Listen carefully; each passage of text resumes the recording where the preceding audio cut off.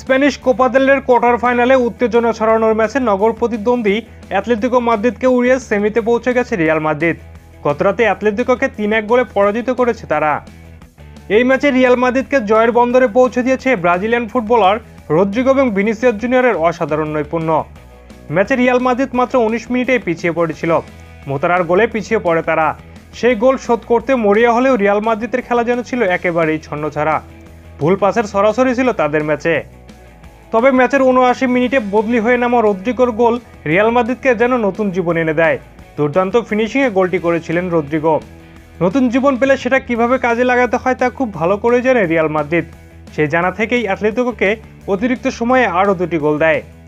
ম্যাচের একশো চার মিনিটে ভিনিসিয়াসের অ্যাসিস্টে করিম বেঞ্জেমা গোল করে এগিয়ে দেন রিয়ালকে। একশো একুশ মিনিটের মাথায় ভিনিসিয়াস গোল করে জয় নিশ্চিত করেন। ভিনিসিয়াস জুনিয়র স্পেনে নিয়মিতভাবে প্রতিপক্ষ সমর্থকদের ধারা বর্ণবাদের শিকার হচ্ছেন। তাকে নিয়ে প্রায় সময় বিরূপ মন্তব্য করছে প্রতিপক্ষ ভক্তরা। এর মধ্যে অ্যাথলেটিকো মাদ্রিদের ভক্তরা যেন এক পায়ে এগিয়ে, তারা ভিনিসিয়াস জুনিয়রকে একটু বেশি আক্রমণ করতে শুরু করেছেন।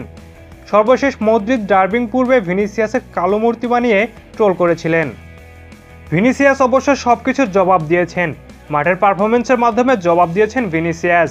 অ্যাথলেটিকো মাদ্রিদকে তিন এক গোলে কোয়ার্টার ফাইনালে হারিয়ে কঠিন জবাব দিয়েছেন ভিনিসিয়াস জুনিয়র।